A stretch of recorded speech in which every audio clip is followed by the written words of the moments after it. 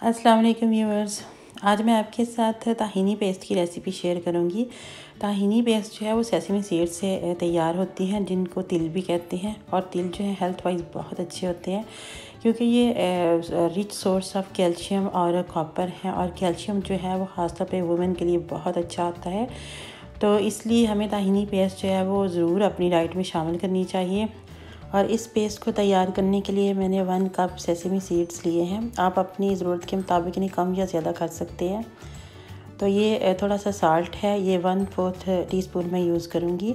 और ये olive oil है। ये मैं टू टेबल स्पून डालूँगी। तो आप भी अपने जितने तिल लें, उसी के हिसाब से इन्हें कम या ज़्यादा कर लें। तो सबसे पहले हम तिल जो हैं, उनको ड्राई रोस्ट करेंगे। और इनका बिल्कुल लो फ्लेम पे या लो हीट पे ड्राई रोस्ट करना है। ये इसको इतना ड्राई रोस्ट करना है कि ये थोड़े से फ्रेगरेंट हो जाएँ और इनका जो एक्स्ट्रा मॉइस्चर है वो ख़त्म हो जाए और ये इजीली ग्राइंड हो जाएँ।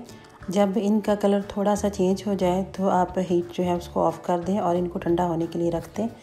जब ये ठंडे हो जाएँगे तो फिर हम इनको ग्राइंड करेंगे। तिल जो है वो ड्राई रोस्ट हो चुके हैं तो मैंने अभी ठंडा करने के लिए रख दिया है। और जब ये ठंडे हो गए तो मैंने इनको चॉपर में डाल दिया है। आप इसके लिए कोई सा भी ब्लेंडर या चॉपर या जो कोई भी मशीन आपके पास है, आप वो यूज़ कर सकते हैं। तो अब इसके अंदर मैं ऑलिव ऑयल डाल रही हूँ। ये तकरीबन टू टेबल स्पून के करीब मैंने डाला है। तो अब ऑलिव ऑयल डाल के हम इनको दोबारा ग्राइंड करेंगे। इनको उस वक्त तक ग्राइंड करते रहना है, जब तक इनका बिल्कुल स्मूथ पेस्ट ना रेडी हो जाए। ऑयल और तिल जो हैं वो बिल्कुल एक जान हो जाए। तो अगर आप आपको ऑयल कम लगे तो आप इसके अंदर थोड़ा सा ऑयल जो है वो और भी डाल सकते हैं। तो ये मैं इसके बाद इसके अंदर नमक मैंने डाल दिया है, ये वन फोर टी स्पून है। आप नमक डाल के इसको दोबारा ग्राइंड करते हैं। तो ऐसे ही आप खोल खोल के देखते रहें और स्पैचुला के साथ इसको मिक्स करें और ऐसे ही इनको ग्राइंड करें जब तक इसका पेस्ट जो है वो रेडी ना हो जाए।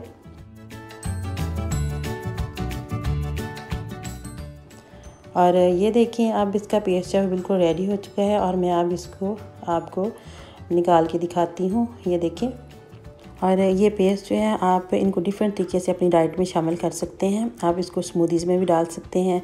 एक दो चम्मच डाल लें। इसके अलावा आप इनको मिल्क शेक में भी ऐड कर सकते हैं।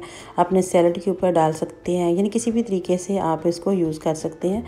तो उम्मीद करती हूँ कि आपको आज की रेसिपी भी अच्छी लगेगी। अगर आपको वीडियो अच्छी लगी है तो वीडियो को लाइक और शेयर करें। और साथ ही चैनल को सब्सक्राइब करना ना भूलें। दुआ में याद रखिएगा। अल्लाह हाफिज़।